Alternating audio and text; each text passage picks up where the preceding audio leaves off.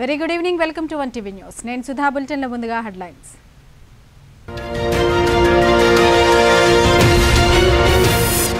ఎన్నికలప్పుడే బాబుకు రైతులు గుర్తొస్తారు. సున్నా వడ్డీ పథకాన్ని ఎగ్గొట్టారని జగన్ ఆరోపణ.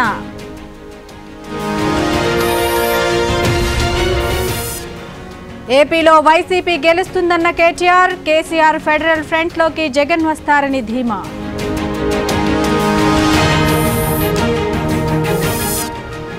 ప్రచారంలో జోరు పెంచిన జనసేనాని విశాఖ జిల్లా గాజువాకలో సాయంత్రం రోడ్ షో.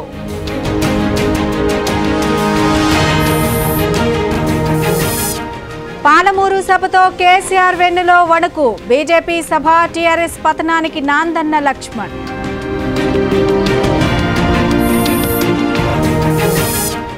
బీజేపీ లేకుంటే నేను జీరోనే పార్టీకి కట్టుబడి ఉంటానన్న అమిత్ షా.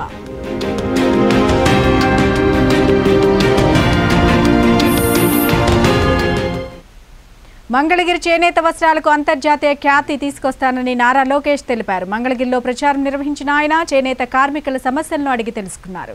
రెండు వందల యాభై కోట్లతో చేనేత మార్కెటింగ్ నిధి ఏర్పాటుతో పాటు ఆప్కో బకాయిలు కూడా విడుదల చేస్తామని తెలిపారు. మంగళగిరిలో ఇండియన్ హ్యాండ్లూమ్ ఇన్స్టిట్యూట్ ఆఫ్ టెక్నాలజీకు కృషి చేస్తానని లోకేష్ తెలిపారు.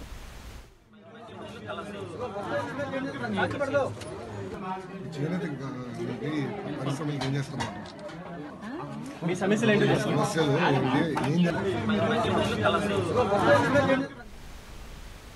ఎన్నికల ప్రచారంలో భాగంగా రాజన్న సిరిసిల్ల జిల్లా ఎల్లారెడ్డిపేటలో కరీంనగర్ ఎంపీ అభ్యర్థి వినోద్ కుమార్ రోడ్ షో నిర్వహించారు. ఈ కార్యక్రమంలో పాల్గొన్న టీఆర్ఎస్ వర్కింగ్ ప్రెసిడెంట్ కేటీఆర్ జాతీయ పార్టీలు కాంగ్రెస్ బీజేపీలలో ప్రధాని అభ్యర్థి ఎవరో తెలియని పరిస్థితి నెలకొని ఉందన్నారు. తెలంగాణ ప్రభుత్వం ప్రవేశపెట్టిన సంక్షేమ పథకాలు దేశంలో ఏ పార్టీ చేపట్టలేదని తెలిపారు. కేంద్రంలో ఏ పార్టీకి పూర్తి మెజార్టీ వచ్చే అవకాశాలు లేవని పదహారు ఎంపీ సీట్లు గెలుచుకుని మనం కీలక పాత్ర పోషించబోతున్నామని వినోద్ అన్నారు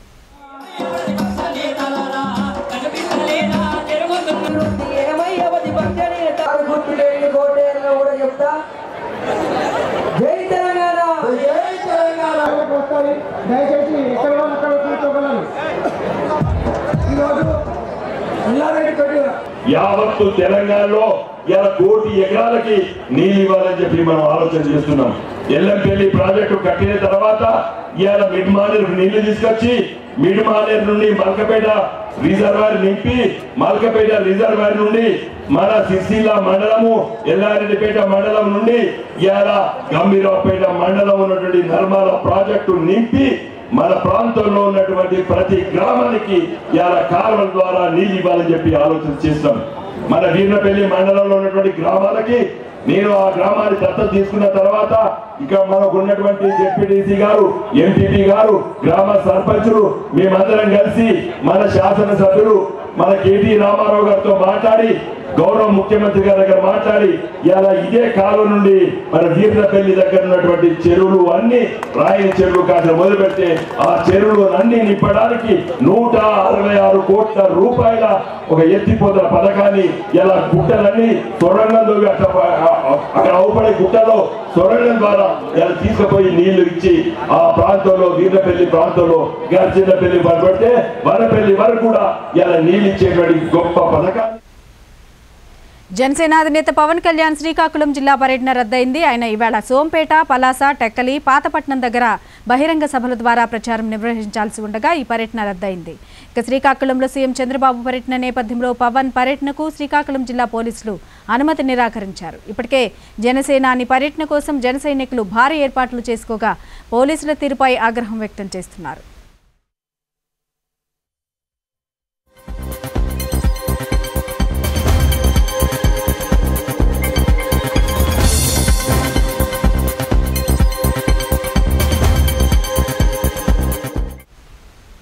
శ్రీకాకుళం జిల్లా పాలకొండ నియోజకవర్గంలో పోటీ ఆసక్తికరంగా మారింది. చివరి నిమిషంలో టికెట్ దక్కించుకుని ఎమ్మెల్యే బరిలో ఉన్న నిమ్మల కిష్ట గెలుపుపై ధీమా వ్యక్తం చేస్తున్నారు. ఈ ఎన్నికల్లో పాలకొండ సీటు టీడీపీదే అంటున్న టీడీపీ అభ్యర్థి నిమ్మ జయకృష్ణతో మా శ్రీకాకుళం ప్రతినిధి Santosh face to face Srikakulam జిల్లాలో తెలుగుదేశం పార్టీ ఎన్నికలు ముమ్మరంగా సాగుతున్న తరుణంలో పాలకొండ నియోజకవర్గం తెలుగుదేశం పార్టీ అభ్యర్థిగా నిమ్మక జయకృష్ణ గారు పోటీలో ఉన్నారు. మరి వారి ప్రచారంలో ముందుకు ఎలా వెళ్తున్నారు?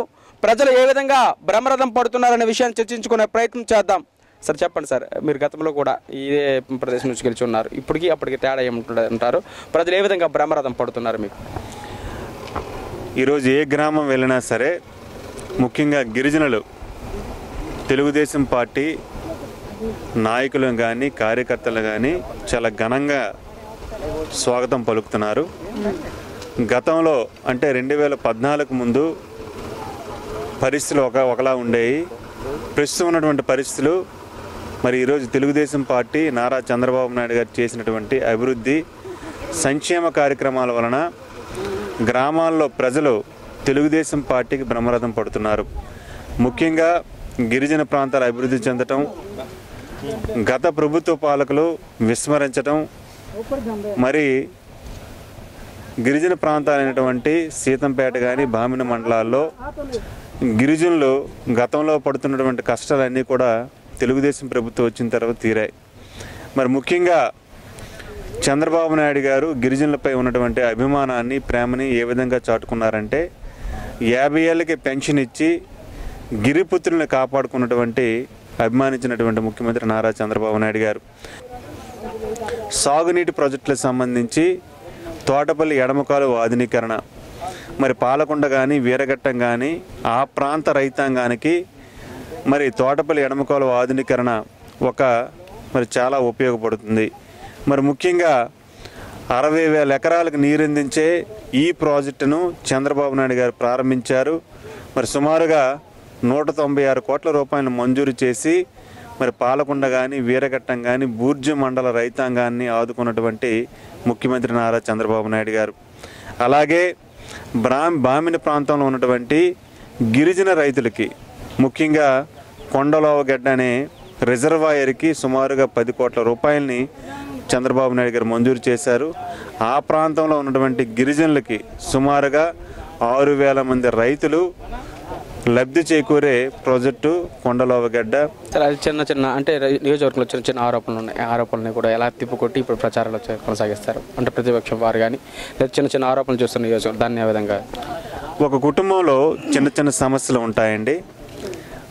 మరి కుటుంబంలో సమస్యలు ఉన్నప్పుడు వాటన్నిటిని కూడా కూర్చొని పరిష్కరించుకునే విధంగా ఆ కుటుంబ సభ్యులందరూ కూడా మరి ఉంటారు. అదేవిధంగా తెలుగుదేశం పార్టీలో చిన్న చిన్న విభేదాలు ఉన్నాయి. అయినా సరే వారందరితో పాటు నేను కూడా సఖ్యతతో వారందరితో పాటు కలిసికట్టుగా వెళ్ళి ప్రస్తుతానికి వాళ్ళందరూ కూడా నాతో పాటు కలిసికట్టుగా పనిచేస్తున్నారు. మరి నా విజయానికి వారందరూ కూడా కృషి చేస్తామని హామీ ఇచ్చారు. అలాగే ఈరోజు అన్ని మండలాల్లో కూడా మరి ఎక్కువ మంది అందరూ కూడా మరి ఈరోజు జయకృష్ణ అభ్యర్థిత్వాన్ని బలపరుస్తున్నారు. చివరిసారిగా నియోజకవర్గంలో ప్రధాన సమస్యలు ఏవైతే ఉన్నాయో ఆ సమస్యలకి ప్రజలకు ఏ విధంగా భరోసా ఇస్తారు? ఏదైతే సమస్యల గురించి? ఇంకా కొన్ని సమస్యలు గిరిజన ప్రాంతాల్లో ఉన్నాయి. కొన్ని ప్రాంతాలకు ఇంకా రోడ్లు వేసుకునే రోడ్లు సౌకర్యం కల్పించాల్సినటువంటి అవసరం ఉంది. అలాగే త్రాగే నీరు కూడా కల్పించాల్సినటువంటి అవసరం ఉంది. మరి ఎన్నికలు అయిన వెంటనే గెలిచిన వెంటనే తప్పకుండా గిరిజన ప్రాంతాలు ఉన్నటువంటి సమస్యలను పరిష్కరిస్తాను. గిరిజన ప్రాంతాలు ఉన్నటువంటి రహదారులు కానీ మంచినీటి సౌకర్యం కల్పించడంలో తప్పకుండా నా వంతు నేను కృషి చేస్తాను. మరి ఇప్పటికే గిరిజన ప్రాంతంలో సుమారుగా వందలో తొంభై శాతం గ్రామాలన్నీ కూడా రహదారి సౌకర్యం ఏర్పాటు చేయడం జరిగింది.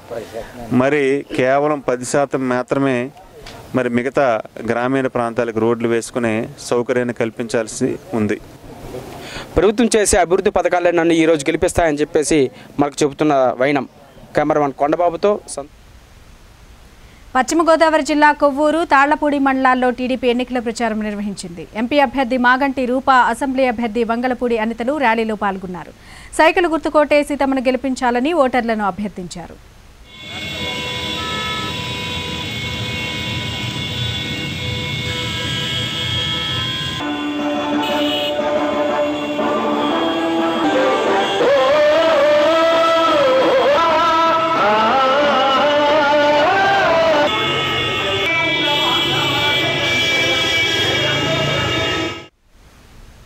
రాష్ట్రంలో దుర్మార్గపు పాలన సాగుతోందని ఆరోపించారు ఉదయగిరి వైసీపీ అభ్యర్థి మేకపాటి చంద్రశేఖర్ రెడ్డి.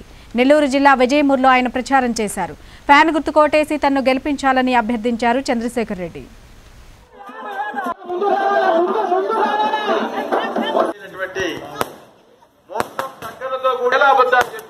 ముఖ్యమంత్రి.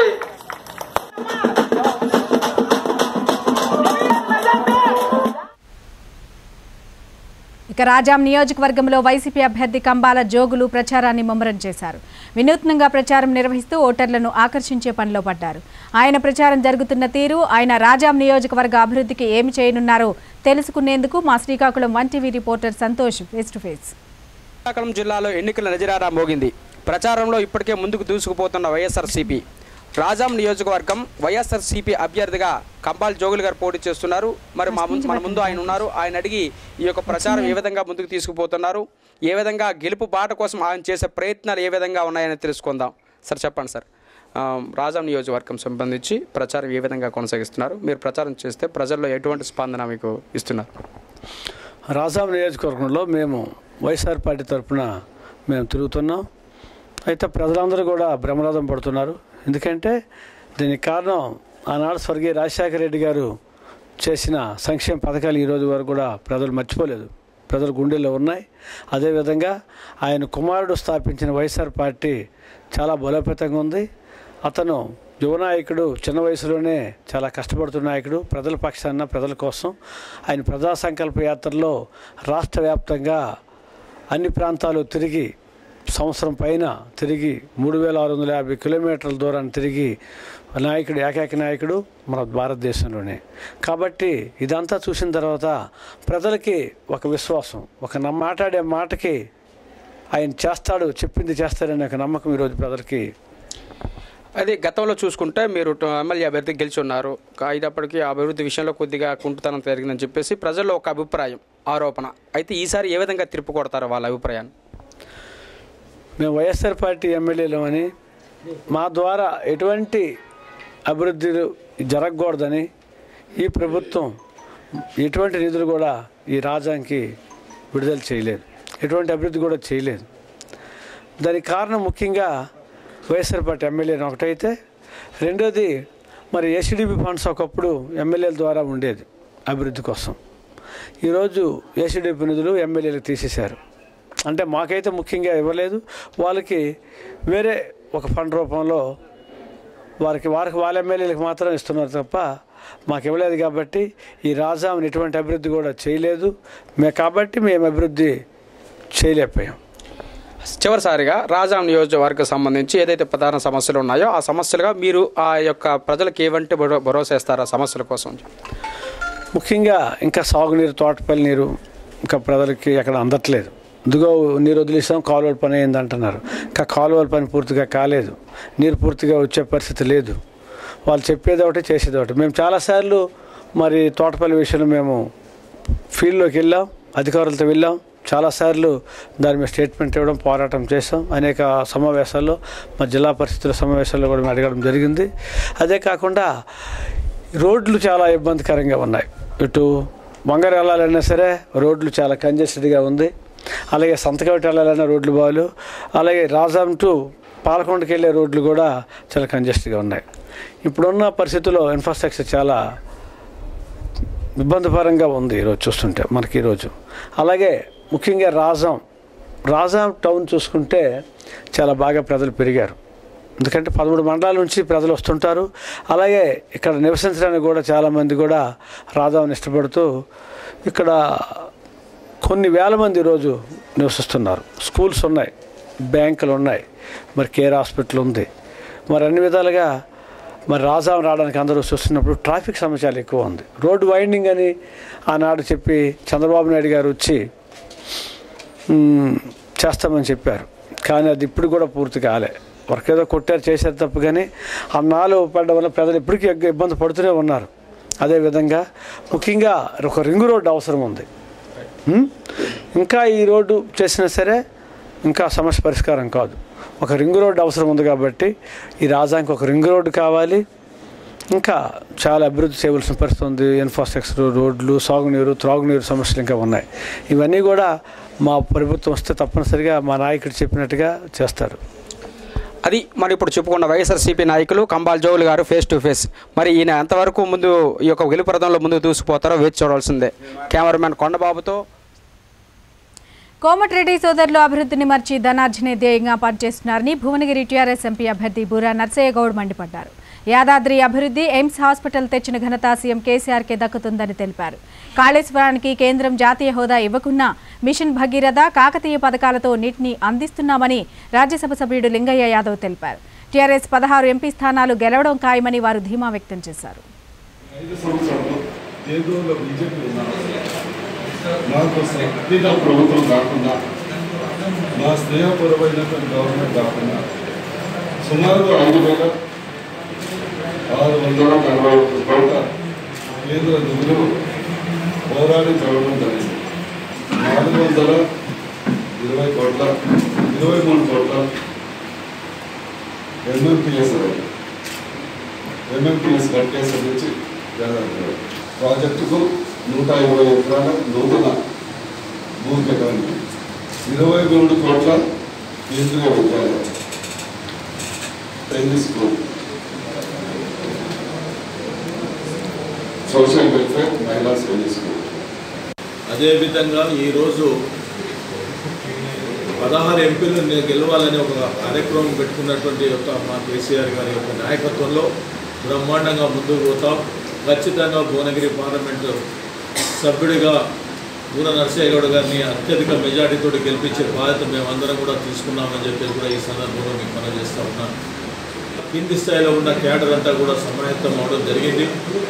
అదేవిధంగా ఈరోజు గ్రామీణ ప్రాంతంలో చేసిన అభివృద్ధి కానీ మండలాల్లో కానీ మన నియోజకవర్గంలో జరిగినటువంటి అభివృద్ధి కార్యక్రమాలు కూడా ప్రజలకు అంకితభావంతో పనిచెప్పే విధంగా చెప్పే విధంగా ప్రజల సంక్షేమం కోసం ఏదైతే కార్యక్రమాలు తీసుకున్నామో అవన్నీ కూడా కులంకుశగా ప్రజలకు తెలియజేసే విధంగా రాష్ట్రము అదేవిధంగా కేంద్ర ప్రభుత్వం నుంచి ఎక్కువ నిధులు రావడానికి ఎన్నికల అధికారులు ప్రభుత్వానికి తొత్తులుగా వ్యవహరిస్తున్నారంటూ మల్కాజ్గిరి పార్లమెంట్ కాంగ్రెస్ అభ్యర్థి రేవంత్ రెడ్డి అన్నారు. టీఆర్ఎస్ ప్రభుత్వంపై నిశ్శబ్ద విప్లవం ప్రారంభమైందన్న రేవంత్ మొన్న జరిగిన ఎమ్మెల్సీ ఎన్నికలే దానికి నిదర్శనమన్నారు. సికింద్రాబాద్లోని తాడ్ బండ్ హనుమాన్ ఆలయంలో ప్రత్యేక పూజలు నిర్వహించిన రేవంత్ రెడ్డి పార్టీ శ్రేణులు పెద్ద సంఖ్యలో ఆయనకు ఘ- ఘన స్వాగతం పలికారు. ఆయన మూడేళ్ళు తీస్తాడు. బస్తీలకు వస్తాడు. మభ్యపెట్టడానికి చూస్తాడు. అప్పుడప్పుడు బస్తీల కాలనీ సంఘాల అధ్యక్షులను నాయకులను బెదిరిస్తాడు రేపటి నుంచి ఎవరు ఉంటారు మీకు? రేపటి నుంచి నేనే ఉంటా కదా? మీ సమస్యలు ఉన్నాయి కదా? మీ కాలనీల ఇల్లు ఇంత జర ముందరికి తగ్గి కట్టిండ్రు. అది మూలగొట్టమంటారు మున్సిపల్ వాళ్ళు నోటీస్ ఇస్తామంటారు మీరు మొన్న నాకు చేసిరు కాబట్టి మీరు మా సుట్టం కాబట్టి నేను ఆపుతున్నా మీరు ఖండం కప్పుకోండి అని ఈ ప్రభుత్వం పతనమవుతుందని చెప్పి ప్రతిపక్షాలే లేకుండా మీరందరు కష్టపడి మీ భుజాల మీద మోసి మీ చెమటను మీ రక్తాన్ని మీ ప్రాణాలను సైతం లెక్క చేయకుండా దారపోసి గెలిపించిన నాయకుని ఇవాళ కాంగ్రెస్ పార్టీ నాయకుని ఇవాళ కేసీఆర్ ఎత్తుకుపోయింది ఇరవై ఒక్క అసెంబ్లీలకు సంబంధించిన సమావేశం ఎల్బీ నగర్ స్టేడియంలో పెట్టింది ఆయన కూడా రాక వెలవెలబోయి ముఖ్యమంత్రి గారు చేసింది తప్పు. ఈ రాష్ట్రంలో ప్రజాస్వామ్య గొంతుకను బతికించాలని చెప్పి ప్రజలు ఆ సభను తిరస్కరించకపోయిందంటే తెలంగాణ సమాజం ఎంత చైతన్యవంతమైందో ఇలా ఆలోచన చేయండి మలయాళీలు తమిళులు కన్నడిగలు మన పక్కనే ఉన్న ఆంధ్రప్రదేశ్ సోదరులు కూడా నివసిస్తున్న ఈ నియోజకవర్గానికి ఇక ఎవరెన్ని కుట్రలు చేసినా వచ్చేది వైసీపీ ప్రభుత్వమేనని తుని నియోజకవర్గం వైసీపీ అభ్యర్థి రాజా ధీమా వ్యక్తం చేశారు. రాష్ట్రంలో అటవిక పాలనతో ప్రజలు విసిగిపోయారని తెలిపారు. రాష్ట్రంలో అత్యధిక సీట్లు గెలుచుకుని జగన్ సీఎం కావడం తథ్యమన్నారు. గెలిపే లక్ష్యంగా ప్రచారం నిర్వహిస్తున్న వైసీపీ అభ్యర్థి రాజాతో మా ప్రతినిధి ఉదయ్ ఫేస్ టు ఫేస్ సార్వత్రిక ఎన్నికల తేదీ దగ్గర పడే కొద్దీ అభ్యర్థులు ప్రచార జోరు పెంచారు. ఎవరికి వారే ఓటర్లను తమ వైపు తిప్పుకునే ప్రయత్నం చేస్తున్నారు. ఎవరికి వారే గెలుపై ధీమా వ్యక్తం చేస్తున్నారు. ఇప్పుడు మనం తుని వైసీపీ అభ్యర్థి దాడిశెట్టి రాజా గారి దగ్గర ఉన్నాం. ఆయన అడిగి అసలు ప్రచారం ఎలా జరుగుతుంది? ప్రభుత్వం వచ్చే ప్రభుత్వం ఎవరు ప్రభుత్వాన్ని ఏర్పాటు చేయబోతున్నారు అనేది ఆయన మాటలు తెలుసుకుందాం. సార్ చెప్పండి. ఇప్పుడు తుని నియోజకవర్గంలో మీ ప్రచారం ఎలా సాగుతుంది? ప్రజలు మీ పట్ల ఎలా స్పందిస్తున్నారు? తుని నియోజకవర్గంలో మార్నింగ్ ఈరోజు మార్నింగ్ ముప్పై ఇరవై తొమ్మిది ఇరవై ఎనిమిది వార్డులు తిరగడం జరిగింది. ప్రతి మహిళ బయటకు వచ్చి స్వచ్ఛందంగా ఒకసారి జగన్ చూస్తాం ఒక అవకాశం జగన్కి ఇద్దామని చెప్పేసి ప్రతి మహిళ కూడా బయటికి చెప్పడం జరుగుతుంది. అదేవిధంగా బ చంద్రబాబుని నిన్ను నమ్మం బాబు అని చెప్పేసి అంటున్నారు. ఎందుకంటే జగన్ గారు పెట్టిన నవరత్నాలు కాపీ చేయడమే కాకుండా రకరకాల స్కీములు ఎన్ని ఎన్నికలకి నాలుగు నెలల ముందు నుంచి రకరకాల స్కీములు పెట్టి ప్రజలను మభ్యపెట్టే పని చేస్తున్నాడు. ఎందుకంటే ఎన్నికలు అయిపోయిన తర్వాత బాబు ఎలా ఎట్టి ఎట్టి పరిస్థితుల్లోనే ఆ స్కీమ్లు ఎలాగనే ఎలాగైనా క్యాన్సిల్ చేస్తాడని చెప్పేసి ప్రజలకు తెలుసు. అలాగైనా స్కీముల్లో కత్తిరి ఉంటుందని ప్రజలకు తెలుసు. ప్రజలు నిన్ను నమ్మం బాబు అని చెప్పేసి అంటున్నారు. తప్పకుండా వైఎస్ఆర్ జగన్మోహన్ రెడ్డికి వైఎస్ వైఎస్ జగన్మోహన్ రెడ్డికి ఓటు వేస్తాం. ఒక్కసారి ఒక్క అవకాశం జగన్ బాబుకి చూద్దాం అని చెప్పేసి మహిళలందరూ కూడా అంటున్నారు. తూర్పుగోదావరి జిల్లాలో ఒక సెంటిమెంట్ అయితే నడుస్తుంది. ఇక్కడ ఎవరైతే ఏ పార్టీ అయితే అత్యధిక సీట్లు గెలుచుకుందో ఆ ప్రభుత్వం ఆ పార్టీయే రాష్ట్రంలో అధికారంలోకి రావడం చాలా ఎన్నికల నుంచి చూస్తున్నాం. ఇప్పుడున్న పరిస్థితుల్లో తూర్పుగోదావరి జిల్లాలో వైసీపీకి ఎన్ని టికెట్లు వస్తాయని మీరు అనుకుంటున్నారు? రాబోయే ప్రభుత్వం వైసీపీ వైసీపీ ప్రభుత్వం వస్తుందనుకుంటున్నారు చంద్రబాబు నాయుడు ఎన్ని కుయుక్తులు పన్నా ఎన్ని మోసాలు చేసినా ఈ తూర్పుగోదావరి జిల్లాలో మొత్తం పంతొమ్మిదికి పదిహేను సీట్లు సుమారు వైఎస్ఆర్సీపీ గెలుస్తుందని చెప్పేసి నేను ఖచ్చితంగా చెప్పగలుగుతున్నాను. ప్రభుత్వం మీరు జగన్ ప్రభుత్వాన్ని మీరు అసలు ప్రభుత్వం ఏర్పాటు చేయడానికి మీరు సిద్ధంగా ఉన్నారు. అసలు ఏ రాష్ట్రంలో ఎన్ని సీట్లు గెలుచుకుంటాం గెలుచుకుంటుంది అనుకుంటున్నారు నూట ఇరవై పైబడి సీట్లు వైఎస్ఆర్ కాంగ్రెస్ పార్టీ గెలవబోతుంది. వైఎస్ఆర్ కాంగ్రెస్ పార్టీ అధినేత జగన్మోహన్ రెడ్డి గారు ముఖ్యమంత్రి కాబోతున్నారు. రాబోయేది జగన్ ప్రభుత్వమేనండి. వైఎస్ఆర్సీపీ ప్రభుత్వం త్వరలోనే ఏర్పాటు చేయడానికి సిద్ధంగా ఉందని కూడా రాజాధ్యమ వ్యక్తం చేస్తున్నారు. మరోవైపు చంద్రబాబును నమ్మే పరిస్థితిలో ప్రజలు ఎవరో లేరని కూడా చెప్తున్నారు. ఈ నియోజకవర్గంలో తాను వైఎస్ఆర్సీపీ జెండా విజయకేతను ఎగరవేయడానికి సిద్ధంగా ఉన్నాను కూడా రాజాధ్యమ వ్యక్తం చేస్తున్నారు. వన్ న్యూస్ కోసం. కరీంనగర్లో KTR road show utter flop అయిందని TPCC working president Ponnam Prabhakar అన్నారు. ఎన్నికల్లో గెలిచేందుకు టీఆర్ఎస్లు కుల రాజకీయాలకు పాల్పడుతున్నాయని ఆరోపించారు. వినోద్ కుమార్ గెలిస్తే మంత్రి అవుతారన్న కేటీఆర్ ఆయన ఏ పార్టీ నుంచి అవుతారో తెలపాలని ప్రశ్నించారు. పదహారు ఎంపీ స్థానాలు గెలిచి కేసీఆర్ని ఫామ్ హౌస్ నుంచి సెక్రటేరియట్కు రప్పిస్తానని పొన్నం తెలిపారు. కరీంనగర్లో స్థానికుడైన తనకు స్థానికేతరుడైన వినోద్ కుమార్కు మధ్య జరుగుతోందని చెప్పారు. ఆయన నిన్న మీటింగ్లో చెప్పుకున్నాడు. ఈ పిల్లలకు ఓట్లు ఉన్నాయా లేదా అని అడిగిన మీరు అందరు గమనించుండొచ్చు. అడిగిండా? అంటే ఓటున్న పిల్లల్ని లేని పిల్లల్ని కూడా తీసుకొచ్చి ప్రచారానికి చేసుకునేటువంటి పరిస్థితిలో టీఆర్ఎస్ దిగజారింది అనే మాట ఈ సందర్భంగా మనం చేస్తూ ఉన్నా. కొడుకులేమో ఈ తిప్పల వర్కింగ్ ప్రెసిడెంట్ ఆయే. జనం రావాలనే జనం రాకపోతే ఎక్కడి నుంచో పిల్లల్ని తీసుకొచ్చి జనం దగ్గర కూర్చోబెట్టేటువంటి పరిస్థితి. తండ్రి మీటింగ్ జనం లేక మీటింగే క్యాన్సల్ అయ్యి మీటింగే పోకుంటున్నటువంటి పరిస్థితి. కానీ మాటలు మాత్రం ఆర్పాటంగా అనేక రకాలుగా మాట్లాడేటువంటి పరిస్థితి. నేను ఒకటే సూటిగా సవాల్ చేస్తున్నా మిస్టర్ కేటీఆర్ ఒక అభ్యర్థి మతం పేరు మీద రెచ్చగొడుతున్నాడు. ఎస్ రైట్ అక్కడి వరకు. ఇంకొక అభ్యర్థి కులంకు సంబంధించినటువంటి అంశాన్ని ప్రేరేపితం చేస్తూ ఉన్నాడు అని చెప్తా ఉన్నాడు. అలా వినోద్ కుమార్ రావు గారు మాత్రం కులాలకు మతాలకు అతీతంగా ఒక కులానికి మాత్రమే పరిమితమైనట్టుగా మాట్లాడుతూ ఉన్నాడు. ఈరోజు మీరు అంతా గమనిస్తూ ఉన్నారు. నేను ఎక్కడన్నా ఏదైనా కులపరమైన సమావేశం పెట్టినా ఇప్పటి వరకు రోజు కులాల ఆత్మీయ సదస్సులు ఆత్మీయ సమావేశాలు ఏ పార్టీ పెడుతుంది? రోజు పద్మనాయక హాస్టల్ కేంద్రంగా ఎన్నికల కమిషన్కి ఫిర్యాదు చేసినప్పటికి కూడా గత ఎన్నికలో ఎన్నికల కోడ్ రాకముందు మూడు నెలలు ఆత్మీయ సమ్మేళనాల పేరు మీద ఇవి బులెటిన్ అప్డేట్స్ మరిన్ని అప్డేట్స్ కోసం చూస్తూనే ఉండండి వన్ టీవీ న్యూస్. ప్రతిక్షణం ప్రజల పక్షం.